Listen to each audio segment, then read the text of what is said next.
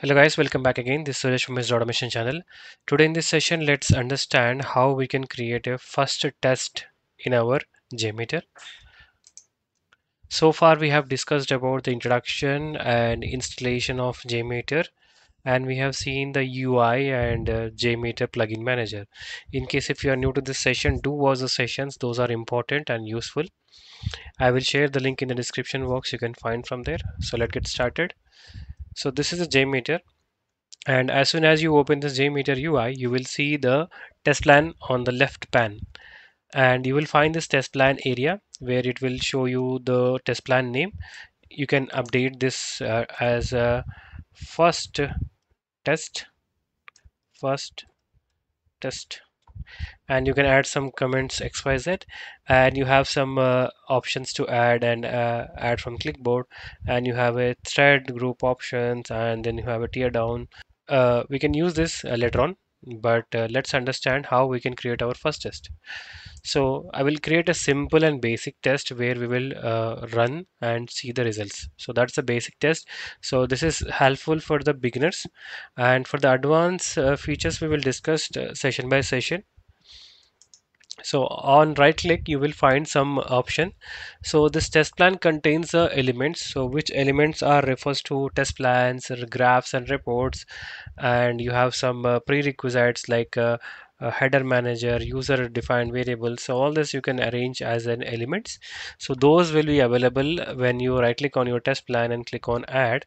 Then you will see this elements. So these are all the elements present in your jmeter so and first and initially uh, we have to select the thread group. So thread group is the entry point for our execution and once we select this thread group you will find some uh, options in within the thread group. So these options are like thread group name. And you have uh, actions to be uh, taken after sampler error. So this means that whenever we execute any uh, sample it gives some errors. So on getting error whether you wanted to continue even you get the error or whether you wanted to stop that. So these options are helpful when we design a framework level and we will discuss in further sessions. And then we have a thread properties. So this has a number of threads which means users. So we, right now it is default to one but you can provide multiple number like 10 100,000 1 lakh. And you have a ramp up time which is uh, represented in seconds. So it is defaulted to one second. You can provide uh, seconds based on your uh, uh, usage. And then you have a loops. So this is the number of iterations that performs within that loop.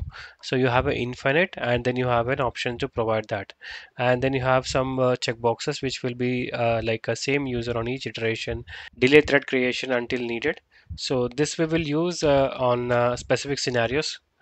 And after we get this thread group then we have other option uh, when when you right click on it then again you have a add then you have a sampler. So under that sampler you will find all the samplers which are uh, you will perform for the performance test. So basically you can select any of this type based on your uh, usage but uh, for the simplest one we will use the http request http request sampler so once we select this HTTP request sampler, you will find the name. So this is a name uh, that you can uh, update. And then you have a protocol. So you have a protocol like HTTPS and HTTP. So you can provide that protocols and you have a server or IP name. So this is basically the website that you are referring uh, that IP name we have to provide and the port number and uh, the type of that method. So you have a get post uh, put and you have many options. So if it is a get you can put the get option and you have a path.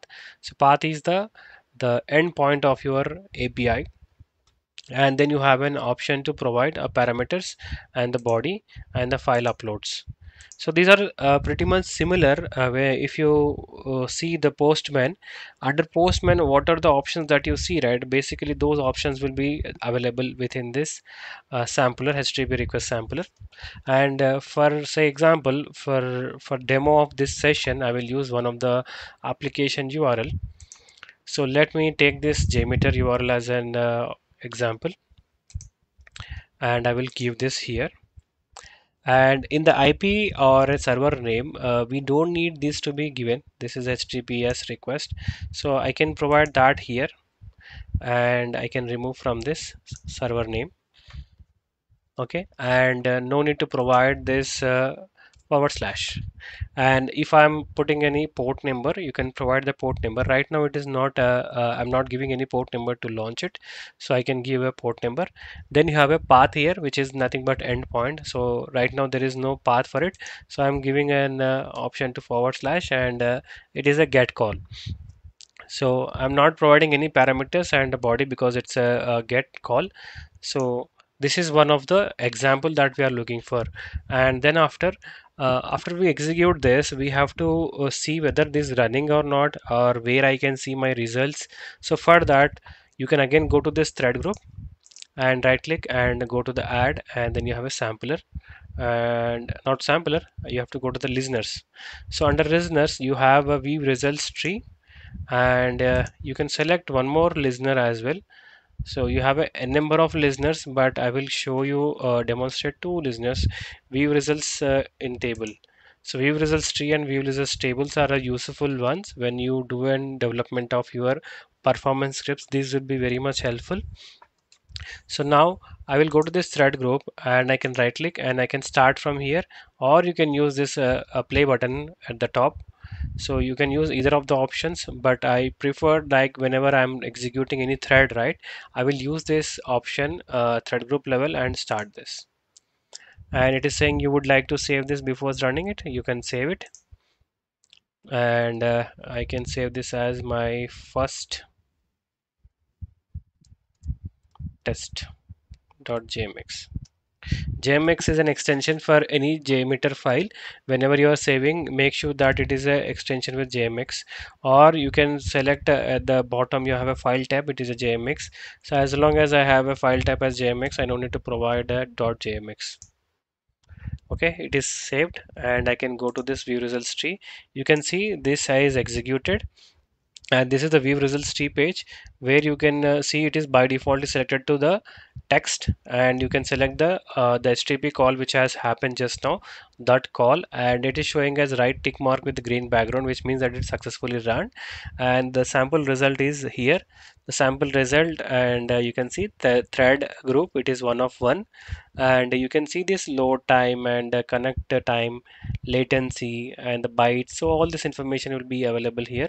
And in the API testing you will generally refers to the status code and status line right? Status code is uh, 200 and status line is okay. So that information also you can see here. And you have a request again.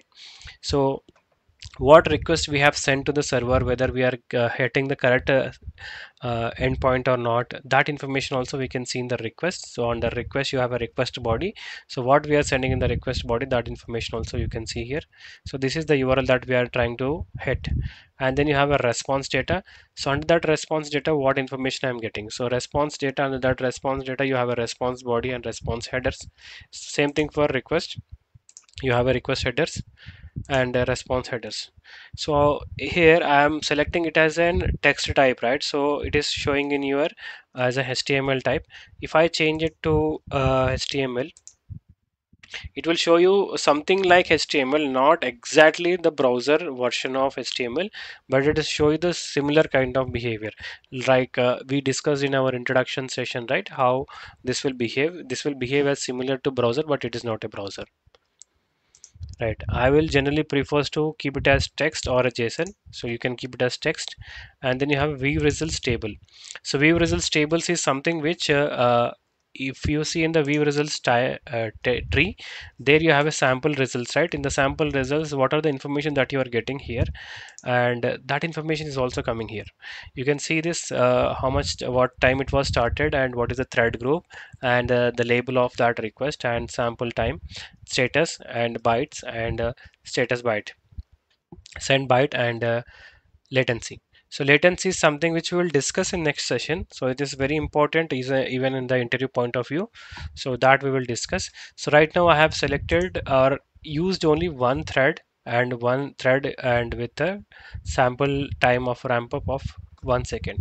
So I will do one thing. I can make it as 10 and my request time is 20 seconds or uh, I can make it as 15 seconds 20 seconds and thread loops is now it one.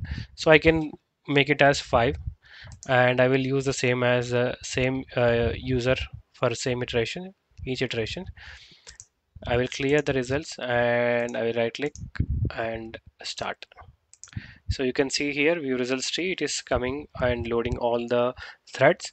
So every request is looping five times so first user is looping five times second user looping it five times three and every user is looping five five times. And you can see the samples time and status and the bytes and bytes and latency. So all this information will be visible here.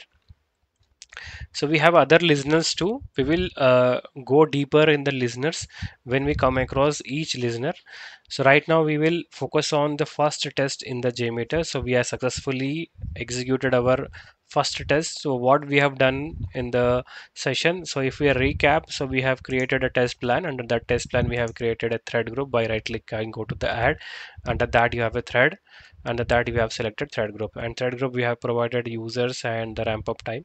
Then we have uh, created one more uh, http request sampler under that. So we have provided uh, the server name and uh, protocol and get call and view results tree for checking the results and view results table to check the same results in the tabular format so i hope this session is helpful for you. In case if you are new to my channel do subscribe to my channel. If you have any questions queries do post in the comment section. I will help you out. Thank you